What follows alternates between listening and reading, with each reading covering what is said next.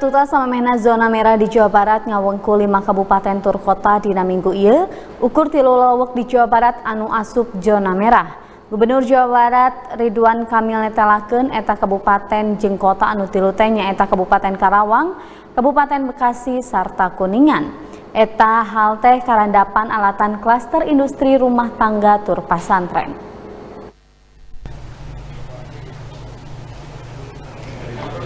Satu tas nyorang rapat koordinasi Komite Kebijakan Penanganan COVID-19 serta Pemulihan Ekonomi Daerah Jawa Barat di Mapolda Jawa Barat Senin Berang 12 Oktober 2020, Gubernur Jawa Barat Ridwan Kamil netelaken Minggu ieu anu munggaran Jawa Barat ukur di Papayesan kutilu zona merah nyaeta Kabupaten Karawang alatan klaster industri tu rumah tangga, Kuningan alatan klaster pasantren jeng Kabupaten Bekasi.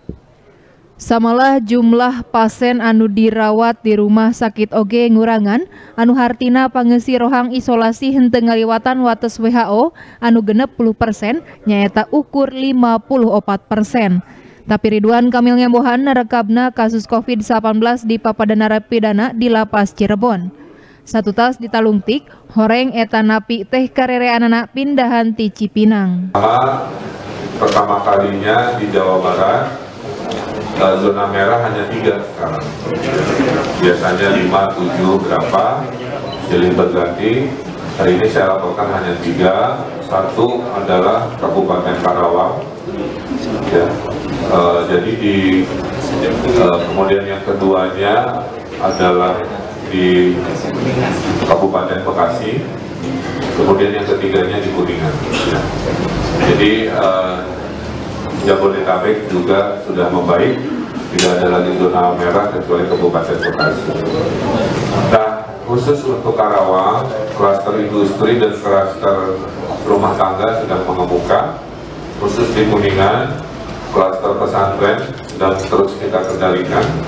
Tapi karena ada lonjakannya untuk ukuran Kuningan ini luar biasa, maka memang masuk kategori merah. Sajeroning kitu Gubernur Jawa Barat nembraken prak-prakan tes anu dilakonan ka sababaraha anu arunjuk rasa Omnibus Law di Jawa Barat nyindeken taya anu katepaan COVID-19. Sanajan kitu eta hal teu unjuk rasa minggu kamari henteu ngabalukarkeun COVID-19. Tapi kakiwari pihakna bakal ngadago jumlah warga Jawa Barat anu katepaan COVID-19 saminggu nu bakal datang. Budi Hartati, Bandung TV.